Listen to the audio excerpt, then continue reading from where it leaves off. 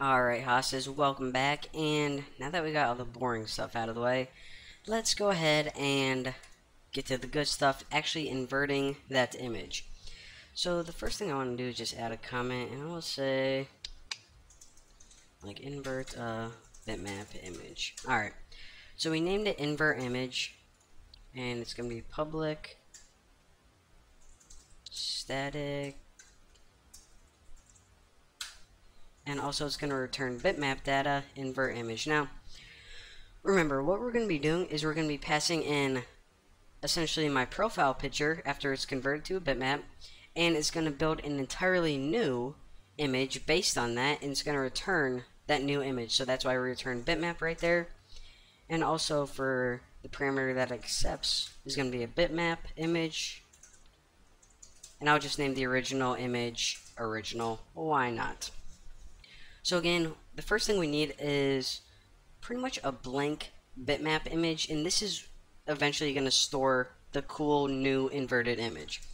So bitmap, I'll just name it final image. And in order to create pretty much a blank canvas that you can create a new bitmap on, you set it equal to bitmap dot create bitmap and the parameters that this takes is first of all you're creating a new bitmap, you need to tell me how big it's going to be, how wide and how tall.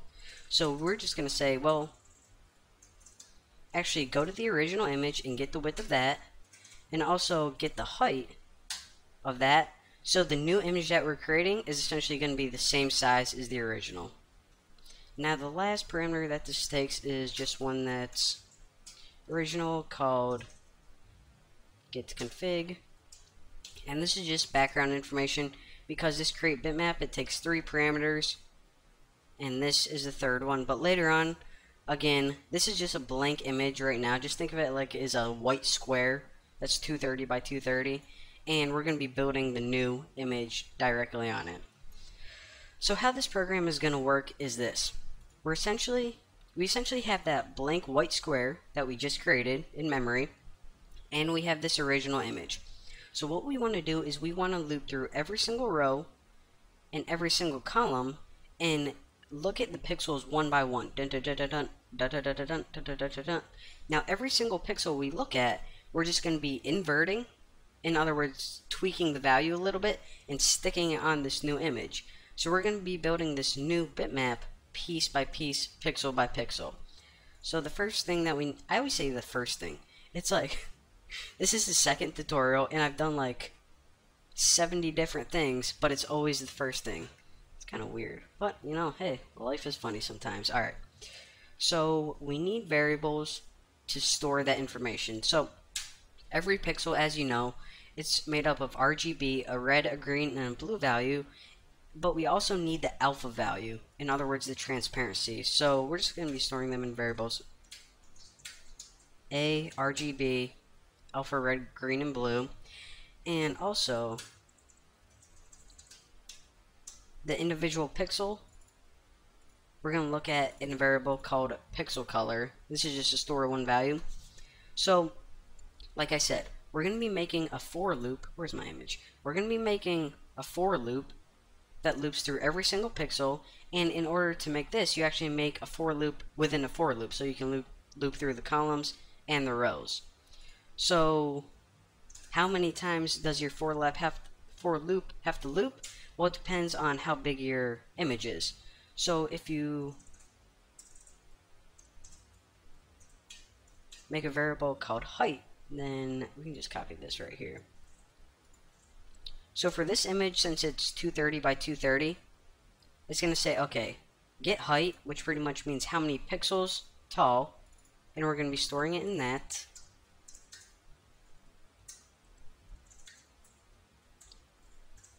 And for this, of course, we already know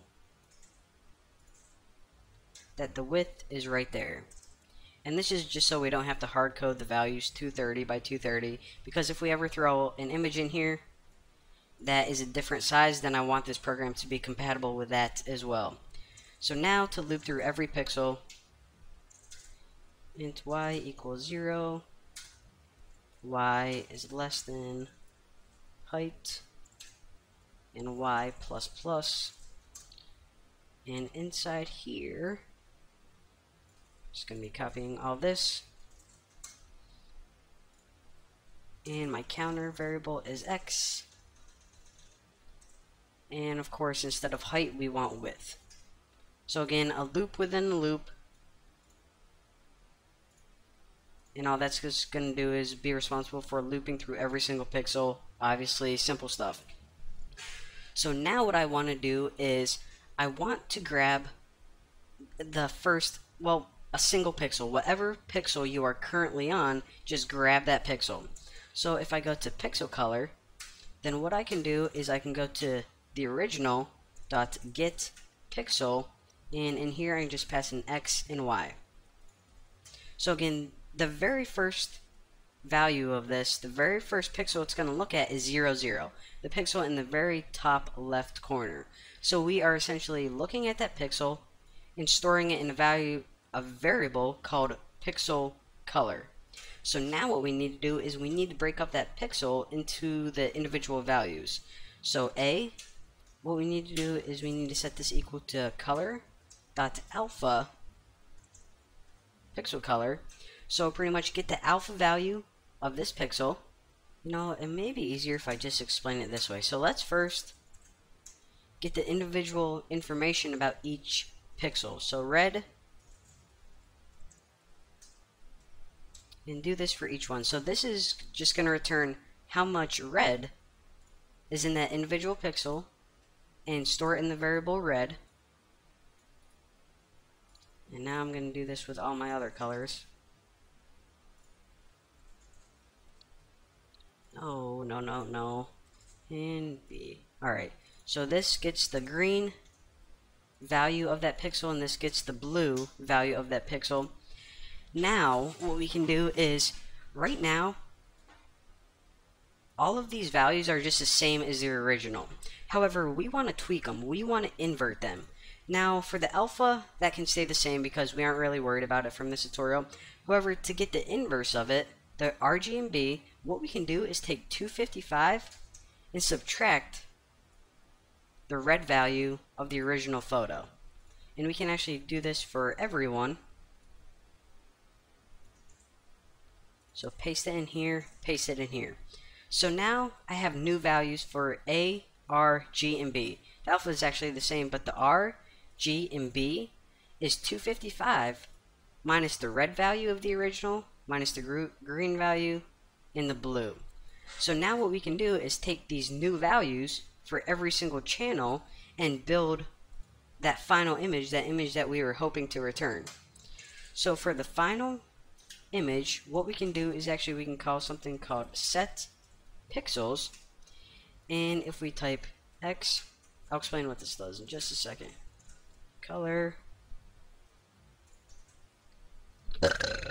Alpha red, green, and blue. A. Alright. That was a nice burp, by the way. Alright.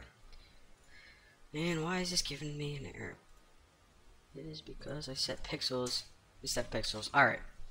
So again, what we're doing is we're looping through pixel by pixel. And then we're taking all the pixel information about that pixel, all of the values, and we are inverting them. And then we're saying, okay, for the final image, for that new image that you're building, take whatever pixel at this appropriate coordinate and set it equal to the new values. So again, pixel by pixel, row by row, we're going to convert this into a new inverted image. And that's it. The only thing we have to do now is return this. So let me make sure I put it in the right place. So return final image. So when this is done looping, you're going to have a brand new image. So now, if I run this, Alright, there. Wow. This is, uh, this is creepier than I thought it would be. but that is how you invert an image. And in the next tutorial, it's not going to be as creepy. You know, I'm just going to get rid of that right now. I don't want to look at that, that look at that anymore. But uh, in the next tutorial, what I'm going to show you guys how to do is use this filter and overlay on this image so it'll be a lot less uh, weird and scary. So, yeah, I'll see you guys then.